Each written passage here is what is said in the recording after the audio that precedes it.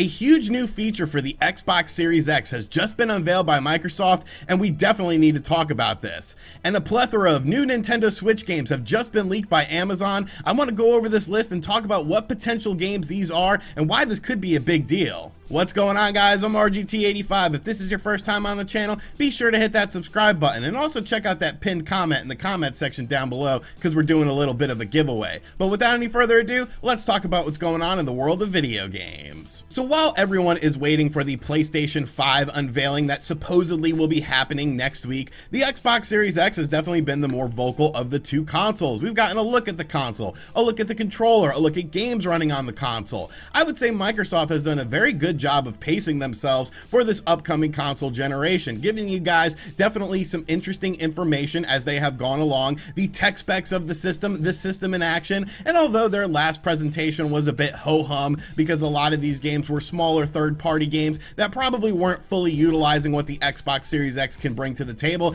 at least we saw games running on it. At least we saw the potential for what this system could bring to the table. But one of the features that was being touted for the Xbox Series X was of course backwards compatibility. And today we learned a lot about the backwards compatibility on the Xbox Series X. And honestly, this is very, very impressive stuff. Now, a lot of people don't necessarily care about backwards compatibility. When they buy a new system, they want to play new games on that system. And I totally understand that. But I am someone who believes in backwards compatibility. I really enjoy it because it gives me an opportunity to play games that maybe I missed out on. Obviously, the Xbox 360 was a huge system. So many different games came to that system, and nobody played all of those games. One of the big titles on the Xbox 360 that I originally missed out on was Alan Wake, and I've heard so many people prophesize about how this game is so good, and right now on my Xbox One, I am playing Alan Wake via the Game Pass service because they put it up there for free, so why not check out this game? And I'm definitely enjoying it, but it looks like the Xbox Series X is really going to take backwards compatibility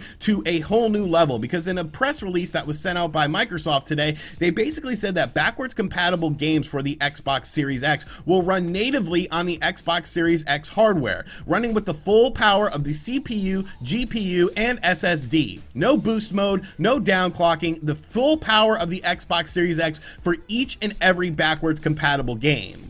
Now, of course, not every game that has come out on the Xbox lineage of systems will be available to play on this. They will be adding in more and more games, but these games, of course, will be from the Xbox, the Xbox 360, and the Xbox One for the backwards compatibility mode. Now, we've seen some backwards compatibility on the Xbox One, of course, and the Xbox One X actually introduced a whole bunch of new features. When you look at a game like Ninja Gaiden that originally released on the Xbox, the Xbox One X version of that game really brought a bunch of new improvements to that game with things like 4K textures. That was a big deal. And it seems like that was simply just a stepping stone that Microsoft is going to be pursuing this even deeper with the Xbox One X because they also said that the compatibility team has invented brand new techniques that enable even more titles to run at higher resolutions and image quality while still respecting the artist intent and vision of the original creators. We are also creating whole new classes of innovation, including the ability to double the frame rate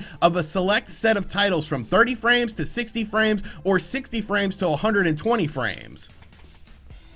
So not only are they taking these games and increasing things like the resolution and the image quality for these games, but they're actually increasing the frames per second for these games to make them potentially smoother experiences. And that to me is just absolutely crazy. It's going to breathe new life into these older games for the Xbox platforms. And I think that's just absolutely amazing. Like a game like Alan Wake, I would love to see that game with a little bit more visual fidelity. It looks great for the time frame, of course, but it does look a little rough around the edges when you compare it to modern games, but it's really going to usher in this new era of wanting to check out these older games because of things like visual improvements to them. So I think this is an absolutely huge deal. I, like I said, I know a lot of people don't necessarily care about backwards compatibility because they buy these systems to play the new games. But for me, this is very, very exciting. I cannot wait to see how these games look and play on the Xbox Series X versus the original versions of these games. We've already seen Microsoft do it with the Xbox One X a little bit, but it seems like they're taking it to a whole nother level with this system. So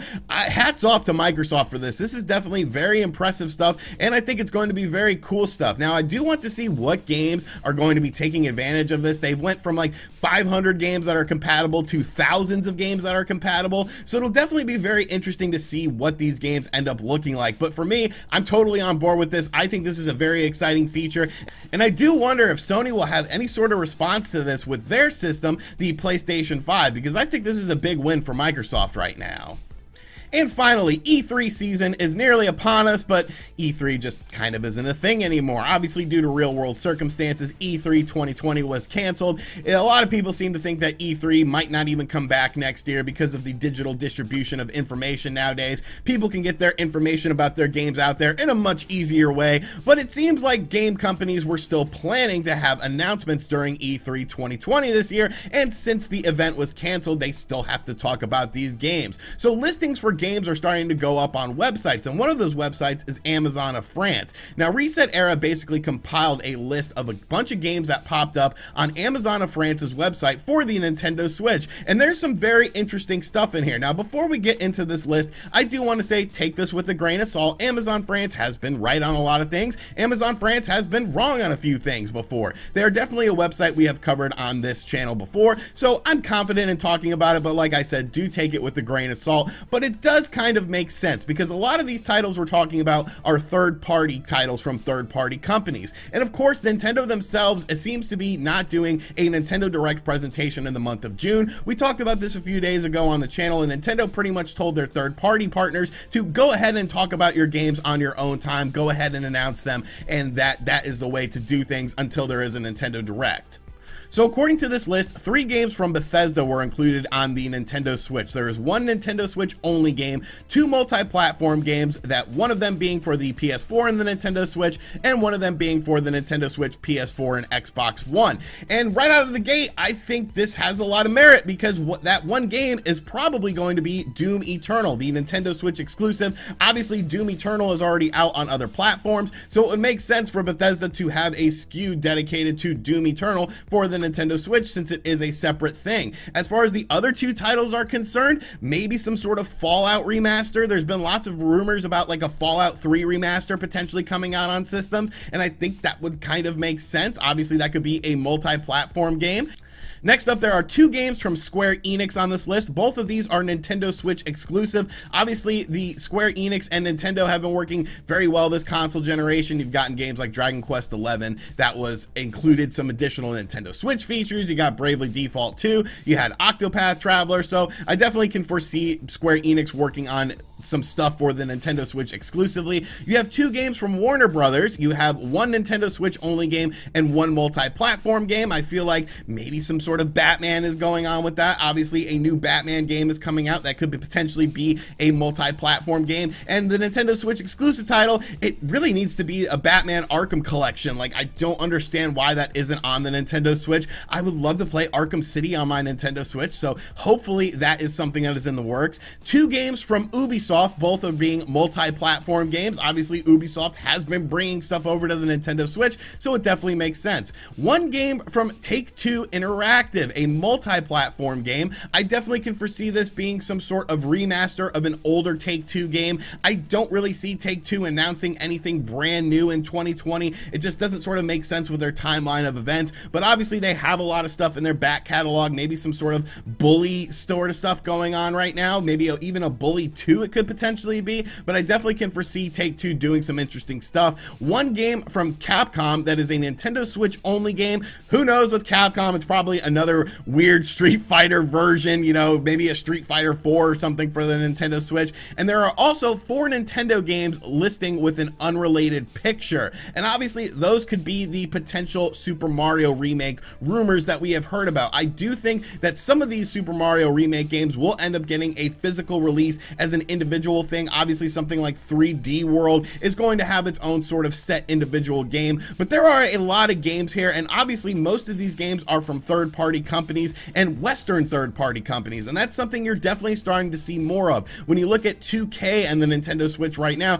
they're releasing three games in one day for the Nintendo Switch, all from libraries that have never been on a Nintendo platform before. And obviously, with the real world situations going on right now, I feel like companies are going to be looking into their back catalog of games to potentially bring stuff to the Nintendo Switch and even the PS4 and the Xbox One to sort of, you know, put a band-aid on what's going on right now and keep revenue coming in from their back catalog of games. Now, although obviously we do have to take these rumors with a grain of salt, I think a lot of these things sort of make sense in a timeline of events. Obviously, companies are going to be talking about their games over the summer, so companies like Amazon, companies like GameStop will start putting up just random SKUs for these games that are going to be announced. But let me know in the comments section down below what games you think these could potentially be. Obviously, some very big third-party companies are involved with these things, and I think it makes sense in the timeline of events.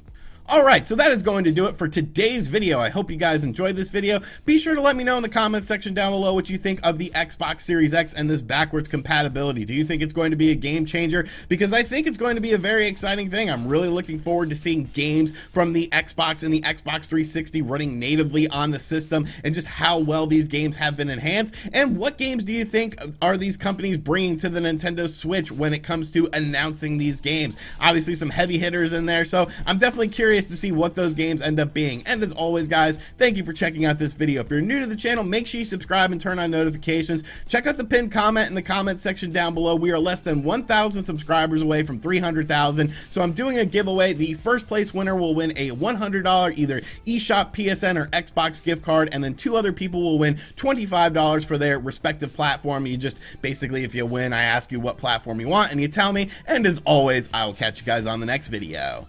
Later.